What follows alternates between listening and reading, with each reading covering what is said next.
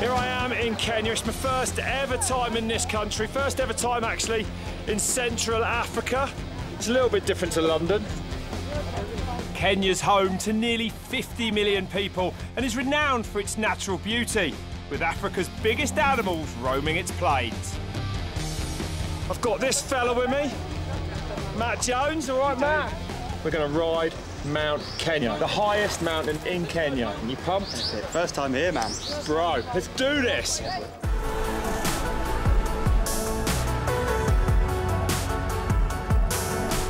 From Nairobi, we're heading north, across the bone-dry savannah, towards Mount Kenya.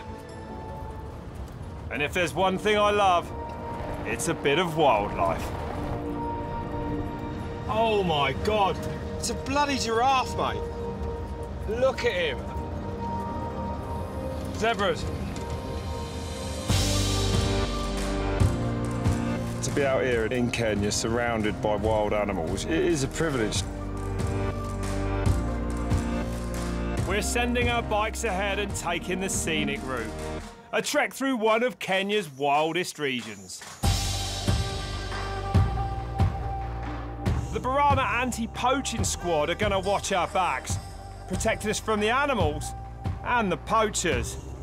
Today, Ben Kilgary is tracking endangered black rhinos. Keep our eyes open, keep our voices down. If you come like chatting, you know, loud, they can hear you. And uh, what you expect is a charge. Yeah. What? So, charge? Yeah, they will really? just come straight to you, yeah. Is that how they protect themselves? Yes. They just run at you as hard as they can? It's all self-defense, yeah. All right, you guys ready?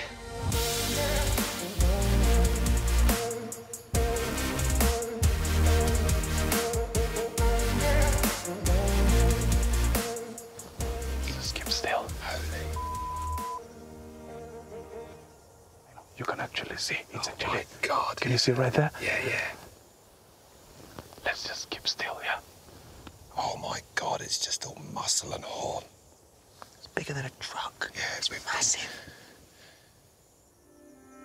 In the last decade, poachers have killed over 200 rhinos, wreaking havoc on Kenya's wildlife. What's hard to believe is that anyone, anyone would harm something like that, isn't it? Look at it, it's one of the most incredible animals on Earth. I can't believe there's only 2,000 left in the whole world. If we're dealing with that small number and still we have poaching cases going on, we might wipe out the whole population.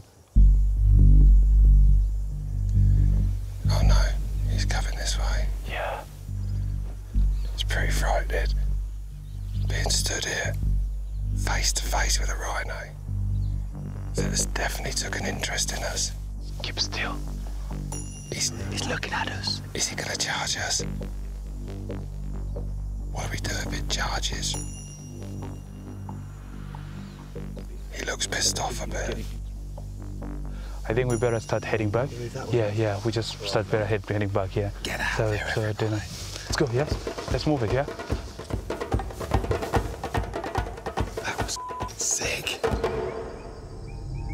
With the sun setting, it's time to bed down for the night. Is this good? Yeah. I've never slept out in the wild like this before. On top of the hill for safety. Good view of all the animals attacking us from all sides. It does feel seriously exposed.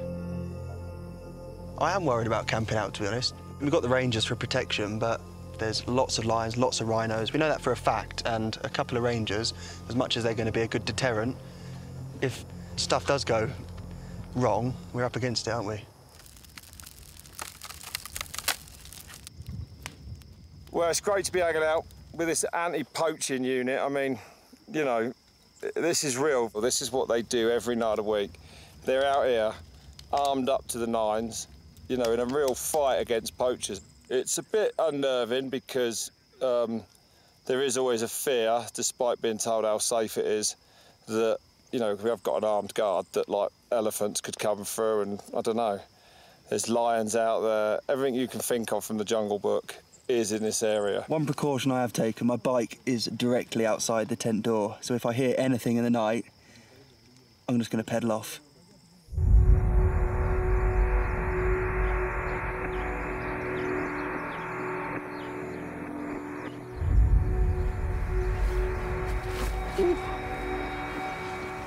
Oh, we survived the night in African paradise, bro.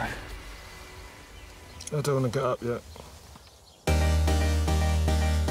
It's time to ride our bikes through the landscape I've been dreaming of.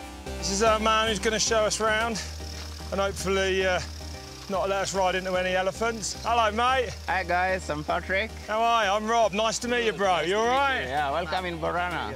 What's the top speed of an elephant or a rhino? Can we outride them if they do No, you tend can get... never. What, they'll get us? Yeah, they are very fast. If you see an animal, don't panic. OK. So we see an animal, we stay on the bike, keep pedalling, don't Yeah. get off.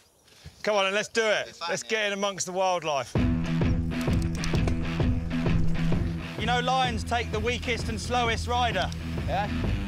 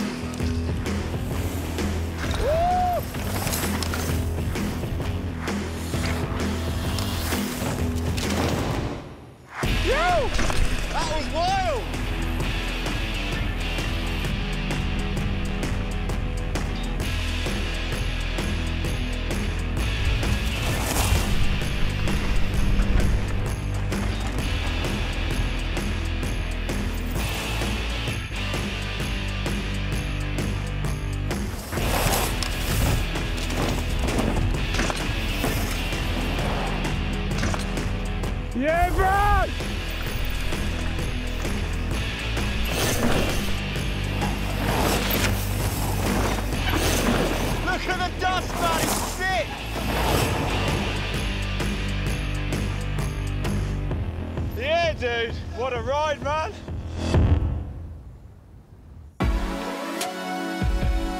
We've got monkeys over there, a rhino over there, this unbelievable set in this huge savannah, nothing but wild animals that don't exist anywhere else on the planet, all in this region here. It's unbelievable. And then, of course, there is Mount Kenya rising up above it all, and that is where we're going to go and ride our bikes.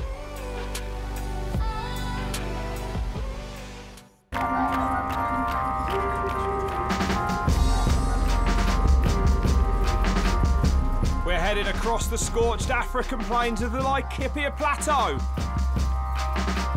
to the super steep, super rocky slopes of Mount Kenya.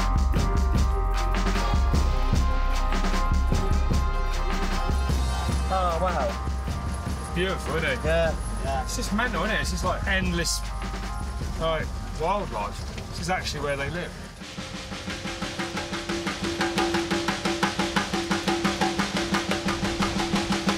We've made it to the foot of the 5,200 metre mountain. Right, let's get these bikes loaded up. But our trailhead is high and remote. The only way we're going to make it up there is by chopper. Here we go, lads. We're off. Chopper squad, bro. We're skimming the top of the bushes. Oh my god, bro. Only a handful of mountain bikers have ever tried to ride Mount Kenya. Wow. Oh my god, mate, here we go. Getting up towards the top of Mount Kenya. It's incredible. Oh my goodness, is that the peak? I've always wanted to ride Mount Kenya and now we're about to do it, mate. This is going to be something special.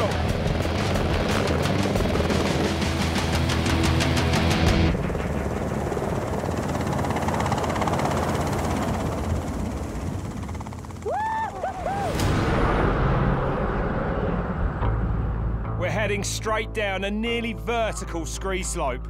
Let's do it. We need to be extra careful on the loose rocks. If we come off now, there's nowhere for the chopper to land. We're dropping into Mount Kenya. Right, Rob? Yeah, man. It's literally like being on Mars or something. This is hard riding, isn't it? It's outrageous.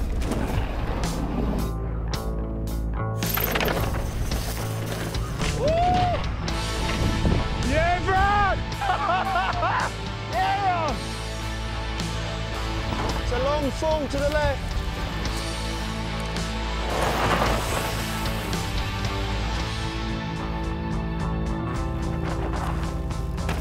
The ground's loose. Hard, isn't it? Go real steady, bro.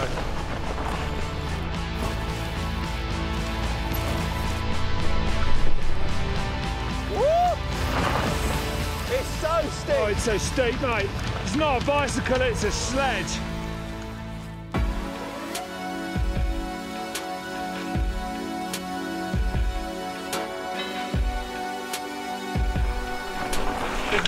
Everywhere, bro. Oh!